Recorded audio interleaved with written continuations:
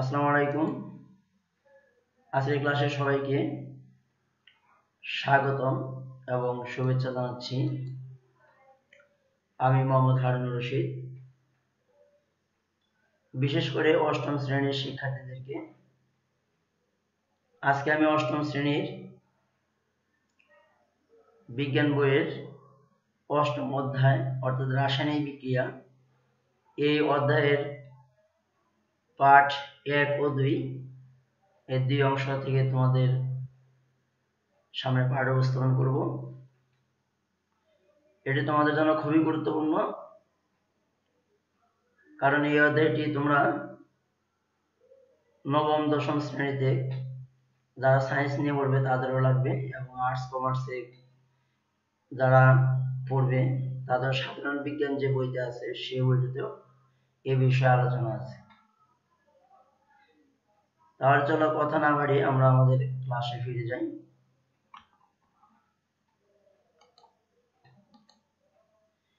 আজকে ক্লাস থেকে তোমরা কি কি শিখতে পারবে? তোমরা প্রতীক কাকে বলে তা বলতে পারবে। উদাহরণ সহ প্রতীক লেখার নিয়ম ব্যাখ্যা করতে পারবে। সংকেত কাকে বলে তা বলতে পারবে। উদাহরণ সহ আণবিক সংকেত লেখার নিয়ম ব্যাখ্যা করতে পারবে। এবং বিভিন্ন মৌল ও যৌগের যোজনী তোমরা বলতে পারবে। তাহলে এই পাঁচটা শিখন ফল অর্জনের জন্য তোমাদেরকে অবশ্যই ক্লাসটিকে শুরু থেকে শেষ পর্যন্ত দেখতে হবে। নিচের লেখাগুলো পড়া এবং প্রশ্নগুলোর উত্তর দাও। দেখো, এখানে কি কি আছে? তোমরা কি বলতে পারবে এখানে এইচ দ্বারা কি বোঝানো হয়েছে? হ্যাঁ হাইড্রোজেনের প্রতীক। এখানে সিএল দ্বারা কি বোঝানো হয়েছে? তোমরা কি বলতে পারবে? হ্যাঁ এটা দ্বারা বোঝানো হয়েছে ক্লোরিনের প্রতীক। সিইউ দ্বারা কি বোঝানো হয়েছে? তোমরা বলো দেখি। সিইউ দ্বারা বোঝানো হয়েছে কপারের প্রতীক। এরপর দেখো এখানে আছে এইচ টু এই এইচ টু দ্বারা কি বোঝানো হয়েছে? হাইড্রোজেনের অনুর সংকেত হাইড্রোজেনের অনুর সংকেত এরপর দেখা হয়, এখানে আছে এইচ টু ও এখানে এইচ এর সাথে যে টু আছে, এই টুটা দ্বারা কি বোঝানো হয়েছে? তোমরা কি বলতে পারবে? এই টু দ্বারা বোঝানো হয়েছে হাইড্রোজেনের সংখ্যা এবং আরও বোঝানো হয়েছে অক্সিজেনের যোজনী অক্সিজেনের যোজনী। তাহলে দেখো এখানে আমরা তিনটে বিষয় দেখলাম এখানে। তোমরা নিশ্চয়ই দেখতে পাচ্ছ। প্রতীক, সংকেত এবং যোজনী। প্রতীক, সংকেত এবং যোজনী। তাহলে আমাদের আজকের পাঠ হচ্ছে প্রতীক, সংকেত এবং যোজনী। চলো আমরা বিস্তারিত দেখি। প্রথমে আমরা জানব প্রতীক কাকে বলে? মৌলের পুরো নামের সংক্ষিপ্ত রূপকে সাধারণত প্রতীক বলা হয়ে থাকে। যেমন, অক্সিজেনের প্রতীক ও কার্বনের প্রতীক সি। এছাড়া তোমরা এর আগে দেখতে পেরেছ যে কপারের প্রতীক সি ইউ এরপর হাইড্রোজেনের প্রতীক এইচ অক্সিজেনের প্রতীক তো এখানে আছে। এখন আমরা জানব প্রতীক লেখার নিয়ম। এই যে আমরা জানলাম প্রতীক কাকে বলে প্রতীক কীভাবে লিখতে হয়, সেই নিয়মটা এখন আমরা জানব। প্রতীক সাধারণত মৌলের ইংরেজি, ল্যাটিন বা গ্রিক নামের প্রথম অক্ষর দ্বারা লেখা হয় এবং ইংরেজি বর্ণমালার বড় হাতের অক্ষর দ্বারা প্রকাশ করা হয়। তার প্রতীক কীভাবে লিখতে হবে? ইংরেজি নাম হতে পারে, ল্যাটিন অথবা গ্রিক নাম হতে পারে, এই নামগুলোর সাধারণত প্রথম অক্ষর দ্বারা লেখা হয় এবং প্রথম অক্ষর আমরা যেটা লিখব সেটা অবশ্যই ক্যাপিটাল লেটারে লিখব। চলো এখানে কিছু উদাহরণ আমরা দেখে নিই। দেখো এখানে কার্বন আছে, কার্বনের প্রতীকের নিচে দেখা লেখা আছে সি তারপর আছে নাইট্রোজেন নাইট্রোজেনের প্রতীক দেখো লেখা আছে এন তারপরে আছে অক্সিজেন। অক্সিজেনের প্রতীক দেখো লেখা আছে ও এরপর দেখো ফ্লোরিন। ফ্লোরিনের প্রতীক আছে এফ তারপর দেখো আছে পটাশিয়াম। পটাশিয়ামের প্রতীক হচ্ছে কে দেখো এটা কিন্তু ইংরেজি নামের নিচে নাই। পটাশিয়ামের যে নামটা আছে, ইংরেজি নাম পটাশিয়াম, কিন্তু এটা হচ্ছে ল্যাটিন নাম হচ্ছে ক্যালিয়াম। ল্যাটিন নাম হচ্ছে ক্যালিয়াম। ক্যালিয়াম থেকে এখানে কে আসছে। এরপর নিচে আরেকটা দেখো নাম আছে? টাংস্টেন টাংস্টেন যদি ইংরেজি নাম, এর ল্যাটিন নাম হচ্ছে ওলফ্রাম এর ল্যাটিন নাম হচ্ছে ওলফ্রাম এবং ওলফ্রামের প্রথম অক্ষর হচ্ছে ডব্লিউ তাহলে দেখো আমরা প্রথমে যে নিয়মটা জানলাম, প্রতীক কীভাবে লেখে তার উদাহরণগুলো আমরা এখানে দেখতে পেলাম। এবার দেখো আমরা আরেকটা নিয়ম দেখি। দুই বা ততোধিক মৌলের ইংরেজি বা ল্যাটিন নামের প্রথম অক্ষর একই হলে। এমন যদি হয় যে একের অধিক মৌলের প্রথম অক্ষর একই হয়ে গেছে, তখন কীভাবে আমরা প্রতীক লিখব? সেটা বলা হয়েছে যে দুই বা ততোধিক মৌলের ইংরেজি বা ল্যাটিন নামের প্রথম অক্ষর একই হলে প্রতীকটি দুইটি অক্ষর দ্বারা প্রকাশ করা হবে কয়টি অক্ষর দ্বারা প্রকাশ করা হবে? দুইটি অক্ষর দ্বারা প্রকাশ করা হবে। এই দুইটি অক্ষরের মধ্যে প্রথম অক্ষরটি হবে? বড় হাতের। আর দ্বিতীয় অক্ষরটি হবে? ছোট হাতের। অর্থাৎ প্রথমটি হবে? Capital letter. আর দ্বিতীয়টি হবে? Small letter. তাহলে দেখো আমরা কিছু উদাহরণ দেখে নিই। দেখো এখানে আছে ক্লোরিন। ক্লোরিনের প্রতীক লেখা হয়েছে C L calcium C A তারপরে এখানে কোবাল্ট। সি ও সি বড় হাতের এবং ও ছোট হাতের। ক্যাডমিয়াম লেখা হয়েছে সি ডি সোডিয়াম সোডিয়ামের ল্যাটিন নাম হচ্ছে নেট্রিয়াম লেখা হয়েছে এন এ কপার কপারের ল্যাটিন নাম হচ্ছে কাপ্রাম প্রতীক হচ্ছে সি ইউ এবারে আছে সিলভার সিলভারের ল্যাটিন নাম হচ্ছে আর্জেন্টাম এজি এবং নিচে আছে টিন টিনের ল্যাটিন নাম হচ্ছে এস এন প্রতীক হচ্ছে এস এন এবং এর ল্যাটিন নাম হচ্ছে স্টেনাম ল্যাটিন নাম হচ্ছে স্টেনাম তাহলে আমরা এখানে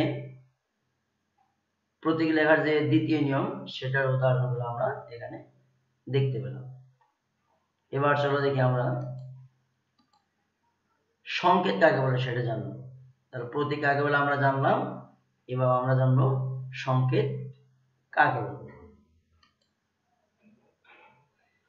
দেখো কোন মৌল বা যৌগের অণুর সংক্ষিপ্ত রূপকে সংকেত বলে। কোন মৌল বা যৌগের অনুর সংক্ষিপ্ত রূপকে কি বলা হয়? সংকেত বলা হয়। যেমন উদাহরণস্বরূপ, হাইড্রোজেন ক্লোরাইড অণুর সংকেত HCl হাইড্রোজেনের অণুর সংকেত H2 অক্সিজেনের অণুর সংকেত O2 পানির অণুর সংকেত H2O অ্যামোনিয়ার অণুর সংকেত NH3 তাহলে এগুলো সবাই কি? অণু সবগুলো হচ্ছে অণুর সংকেত। এরপর আমরা জানব যোজনী কাকে বলে? কোন মৌলের একটি পরমাণু কয়টি হাইড্রোজেন পরমাণুর সাথে যুক্ত হতে পারে? তার সংখ্যাকে ওই মৌলের যোজনী বলে। কোন মৌলের একটি পরমাণু কয়টি হাইড্রোজেন পরমাণুর সাথে যুক্ত হতে পারে? তার সংখ্যাকে ওই মৌলের যোজনী বলে। এখানে হাইড্রোজেন বলা হয়েছে। হাইড্রোজেনের যোজনী যেহেতু এক সেই জন্য এটাকে ধরা হয়েছে। হাইড্রোজেনের পরিবর্তে এক যোজি যে কোনো মৌল বললে হবে। ফ্লোরিনের যোজনী আছে এক, সেটা বললেও হবে।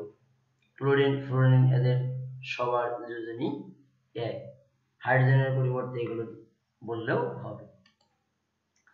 এবারে যৌগমূলক কাকে বলে আমরা জানব?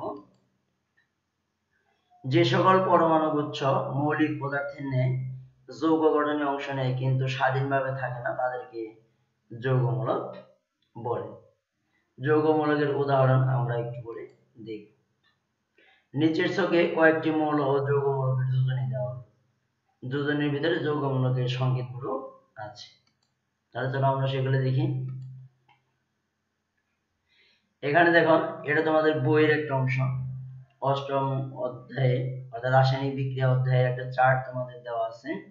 সেখানে এক যোজি, দুই যোজি তিন যোজি এবং চার যোজি। অর্থাৎ যাদের যোজনী এক, যোজনী দুই, যোজনী তিন এবং যোজনী চার। এই চারটা যোজনী বিশিষ্ট ধাতু, অধাতু এবং যৌগমূলক এখানে দেওয়া আছে।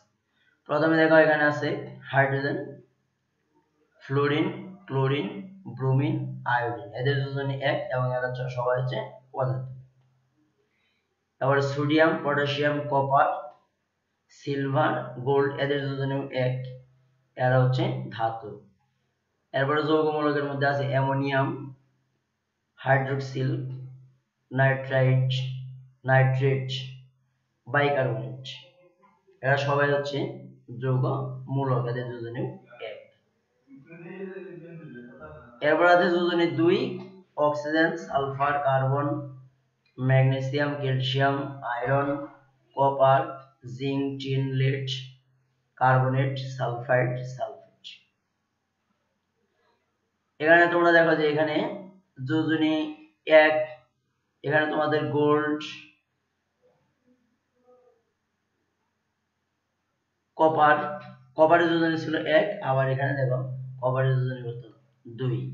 তার মানে এই মৌলের দুইটা যোজনী। তাহলে দ্বিযোজী আবার এখানে যোজনী তিনের মধ্যে nitrogen, phosphorus, aluminium, iron, gold phosphate তাহলে এখানে গোল্ড কিন্তু ছিল যোজনী এক, আবার যোজনী তিনের ভিতরেও গোল্ড আছে। আবার দেখো এখানে আয়রন যেটা ছিল আয়রনের যোজনী এখানে দুই, আবার এখানে আয়রন আছে।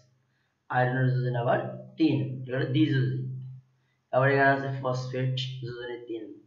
আবার এখানে আছে কার্বন আবার সালফার টিন লেট এদের যোজনী হচ্ছে কি? চার। তাহলে আমরা এই যোজনীগুলো এখান থেকে জানলাম। আমি পরবর্তীতে একটি ক্লাসে কীভাবে যোজনী বের করতে হয় সেগুলো তোমাদেরকে দেখিয়ে দেবো ইনশাআল্লাহ এরপর দেখো আমরা জানব, এরপর আমরা দেখব আণবিক সংকেত লেখার নিয়মগুলো কি? আণবিক সংকেত লেখার নিয়ম। তোমাদের বইতে তিনটা নিয়ম আছে। তিনটা নিয়মের মধ্যে দেখো এখানে যোগে উভয় মৌল বা যৌগমূলকের যোজনী একই হলে এক্ষেত্রে সংকেতের যোজনী লেখার প্রয়োজন হয় না। শুধু মৌল কিংবা মৌলগুলো পাশাপাশি লিখলেই চলে। যেমন ক্যালসিয়াম অক্সাইড। এখানে ক্যালসিয়ামের যোজনী দুই, অক্সিজেনের যোজনী দুই। সেজন্য এখানে যেহেতু একই রকম, সেজন্য লেখার প্রয়োজন নেই। এবার অ্যামোনিয়াম ক্লোরাইড। অ্যামোনিয়ামের যোজনী এক, আবার ক্লোরিনের যোজনীও এক। সেজন্য লেখার প্রয়োজন নেই। Ammonium nitrate. অ্যামোনিয়ার যোজনী, অ্যামোনিয়ার যোজনী এক, আবার নাইট্রেট নাইট্রেটের যোজনীও এক। তাহলে সেই জন্য লেখার প্রয়োজন নেই। এরপর দুই নম্বরে আছে দেখো, উভয় মৌলের কিংবা মূলকের যোজনী কোন নির্দিষ্ট সংখ্যার হলে ওই সংখ্যা দিয়ে যোজনীকে ভাগ করে বিনিময় করে লিখতে হয়। যেমন কার্বন ডাই অক্সাইডের ক্ষেত্রে C2O4 CO2 এখানে কার্বনের যোজনী হচ্ছে চার, আর অক্সিজেনের যোজনী হচ্ছে 2 অক্সিজেনের যোজনী যাবে কার্বনের সাথে, আর কার্বনের যোজনী যাবে অক্সিজেনের সাথে। তাহলে এখানে তোমাদের মনে রাখা প্রয়োজন যে, তোমরা যখন একের অধিক পরমাণু দিয়ে যখন সংকেত লিখবা, তখন আগের মৌলের যোজনী যাবে পরের মৌলের সাথে, আর পরের মৌলের যোজনী আসবে আগের মৌলের সাথে। সেই জন্য এখানে কার্বনের যোজনী ফোর অক্সিজেনের সাথে এবং অক্সিজেনের যোজনী টু হচ্ছে কার্বনের সাথে। টু দ্বারা ফোর কে যদি ভাগ করা যায়, এজন্য ভাগ করে লেখা হয়েছে সিও টু আর টু দ্বারা ভাগ করলে ওয়ান ওয়ান লেখার প্রয়োজন নেই। আর টু দ্বারা ফোর কে ভাগ করলে হচ্ছে টু তিন নম্বর নিয়মে বলছে, উভয় মৌলের কিংবা উভয় মৌলকের যোজনী ভিন্ন এবং গুণিতক না হয় দুইটা মৌলের যোজনী ভিন্ন মানে আলাদা আলাদা এবং একটাতে আরেকটাকে ভাগ করা যায় না গুণিতক তখন কি হবে? তখন আমি আগে যে কথাটা তোমাদের বলছি, আগের মৌলের যোজনী, পরের মৌলের সাথে, পরের মৌলের যোজনী, আগের মৌলের সাথে। যেমন এখানে উদাহরণস্বরূপ বলা হয়েছে যে, এ মৌলের যোজনী যদি x হয় আর বি মৌলের যোজনী যদি y হয়, তাহলে a ও বি মৌল দ্বারা গঠিত যৌগ হবে AYBX তাহলে বি এর যোজনী y এর সাথে, a এর যোজনী y যাবে সাথে। a মৌলের যোজনী সংখ্যা b মৌলের ডান পাশে সামান্য নিচে ছোট করে এবং b মৌলের যোজনীর সংখ্যা a মৌলের ডান পাশে নিচের দিকে ছোট করে লিখতে হবে যেমন অ্যালুমিনিয়াম ক্লোরাইড। তাহলে এখানে অ্যালুমিনিয়ামের যোজনী হচ্ছে 3 এটা কিন্তু অক্সিজেনের সাথে, আবার অক্সিজেনের যোজনী হচ্ছে 2 এটা আছে অ্যালুমিনিয়ামের সাথে। যেহেতু এরা একটা একটা গুণিতক নয় সেই জন্য এভাবে লেখা হয়েছে। 2 দ্বারা যেহেতু 3 কে ভাগ করা যায় না। তাহলে এই তিনটা হচ্ছে, এই তিনটা হচ্ছে আণবিক সংকেত লেখার নিয়ম। তোমরা পরবর্তী ক্লাসে আণবিক সংকেতের পাশাপাশি গাঠনিক সংকেতও জানতে পারবে। তাহলে আমাদের আজকে যে পাঠ ছিল, প্রতীক সংকেত এবং যোজনী, আজকের মতো এ পর্যন্ত শেষ হলো। পরবর্তী ক্লাসে পার্ট তিন এবং চার, সেগুলো নিয়ে বিস্তারিত আলোচনা করব। সে পর্যন্ত তোমরা সবাই ভালো থাকো, সুস্থ থাকো। এই করোনা পরিস্থিতিতে সবাই প্রয়োজন ছাড়া বাইরে বের হওয়ার কোনো প্রয়োজন নেই। বাসায় থেকে মন দিয়ে লেখাপড়া করো। এই আশাবাদ ব্যক্ত করে আজকের ক্লাস এখানে শেষ করছি। সবাইকে ধন্যবাদ। আসসালামু আলাইকুম।